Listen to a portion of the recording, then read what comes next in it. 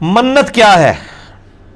منت جائز ہے یا ناجائز؟ اگر جائز ہے تو کیا منت ماننی ہوگی؟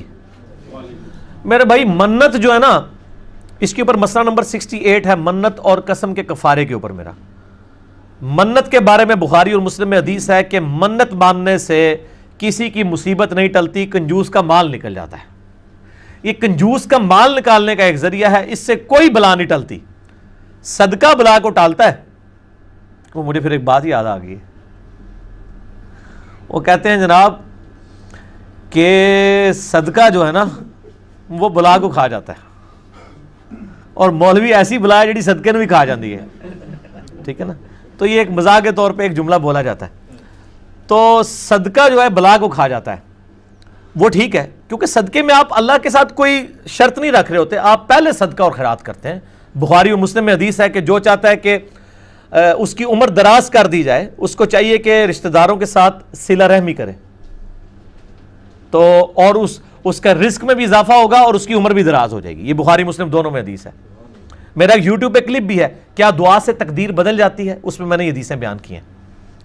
تو منت سے کچھ نہیں ہونے کا۔ کنجوس کا مال نکل جائے گا، البتہ جس نے منت مان لی۔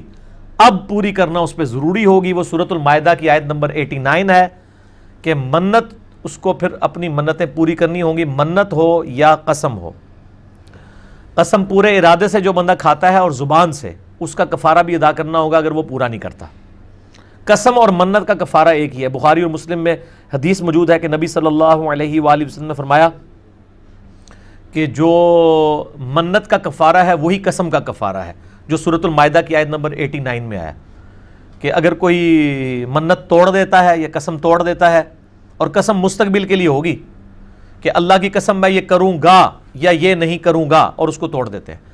یہ جو ماضی کے بارے میں کہ اللہ کی قسم میں نے یہ نہیں کیا، یہ قسم نہیں ہوتی۔ یہ تو ایک آپ جھوٹی قسم اس حوالے سے کھا رہے ہیں کہ کوئی واقعہ ماضی کا رپورٹ کر رہے ہیں۔ یہ قسم رکھنا یا توڑنا نہیں ہے۔ یا منت یہ ہے کہ اگر کوئی شخص کہتا ہے جی میرا یہ کام ہو گیا، میں اتنے نوافل پڑھوں گا یا اتنا مال اللہ کی راہ میں صدقہ کروں گا، اور اگر وہ نہیں کر پاتا تو کفارہ دے گا۔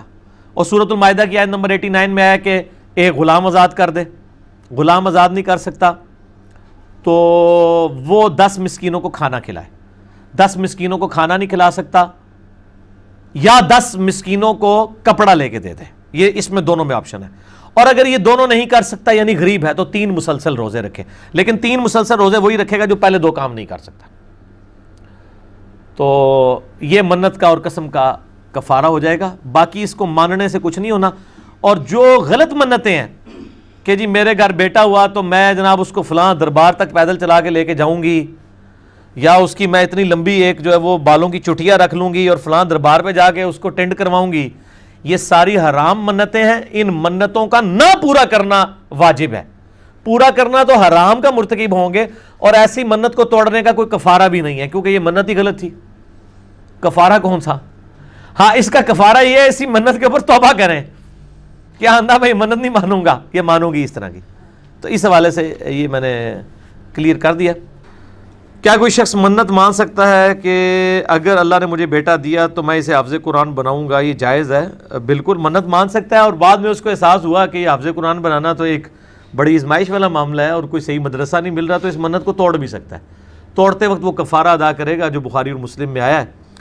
اور صورت المائدہ کی آیت نمبر ایٹی نائن میں دس وہ غلام آزاد کرے گا، غلام نہیں آزاد کر سکتا تو دس مسکینوں کو کھانا کھلائے گا یا دس مسکینوں کو کپڑے لے کے دے گا اور اگر غریب ہے تو تین روزے مسلسل رکھ لے گا۔